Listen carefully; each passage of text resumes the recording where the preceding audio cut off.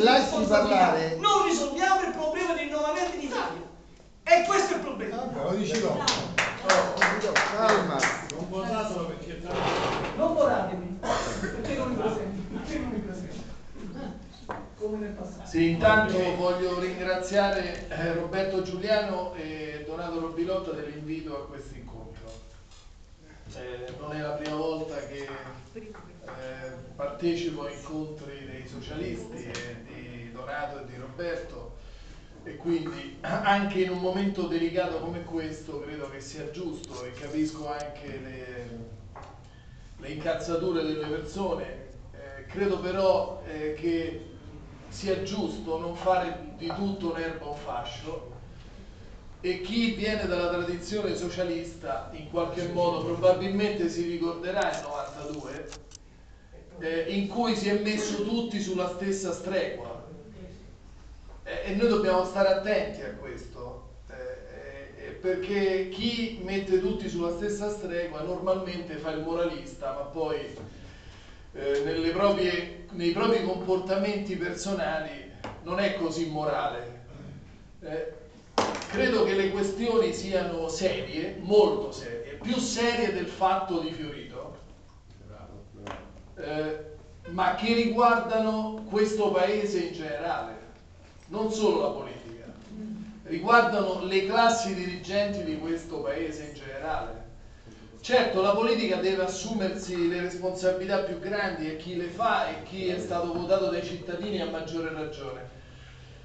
Però io voglio ricordare solo un piccolo passaggio, poi rispondo alla domanda del moderatore che ha Alberto tranquillo. Eh, però io penso che il tema sia più ampio eh, e c'è anche un retroscena dietro a quello che sta avvenendo. Eh, quando io ho iniziato a fare politica, la prima volta che sono stato eletto in un consiglio circoscrizionale in dodicesima era il 1981. Roberto mi conosce perché eravamo dello stesso quartiere, di decima, quartiere popolare di casa Stessa popolare. parrocchia. Stessa parrocchia, non è che ce n'erano molte le parrocchie, c'era solo quello, per cui non è che... Eh, sono stato eletto dal voto di quel quartiere. Eh, chi faceva il consigliere circoscrizionale all'epoca prendeva di rimborso 500.000 lire l'anno, l'anno.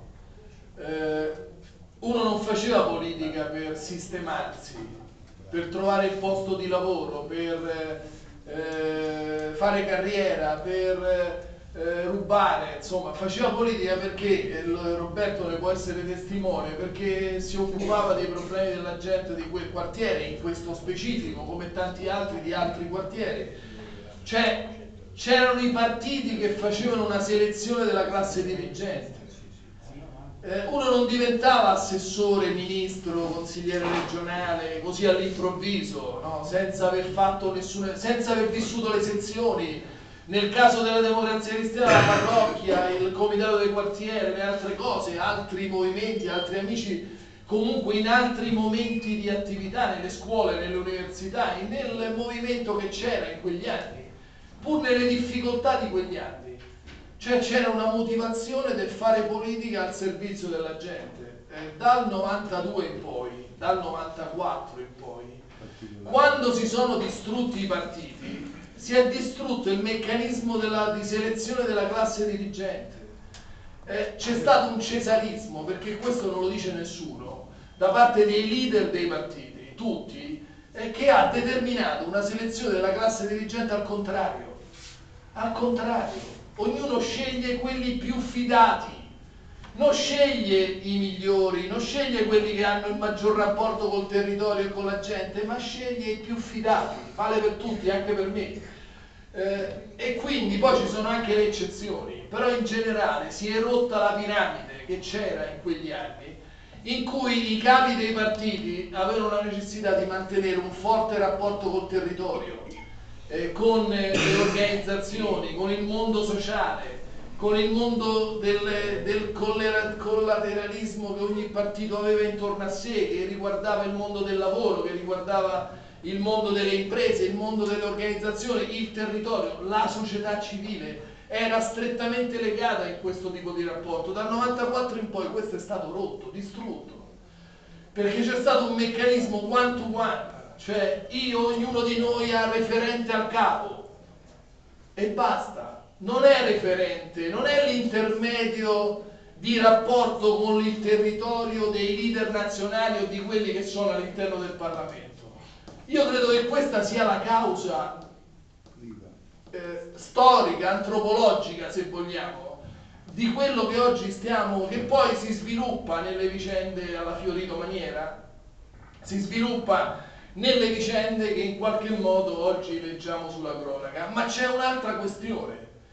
Guardate che dietro a questo c'è una spinta neocentralista eh, molto forte, eh, che in qualche modo, guardate, io ho fatto il parlamentare, i fondi ai gruppi parlamentari ci sono, non è che ci sono, eh, e vengono utilizzati anche per fare le stesse cose che più o meno, non Fiorito, assolutamente, ma perché fanno, che hanno fatto i gruppi, i gruppi consiglieri regionali.